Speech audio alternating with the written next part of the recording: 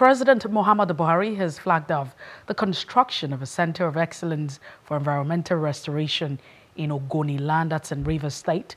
The president laid the foundation for Ogoni Power Project and 100-bed specialist hospital in Rivers State. Buhari joined the groundbreaking ceremony virtually and said the projects are in fulfillment of his administration pledge to provide succor for four years of environmental degradation in Ogoni land.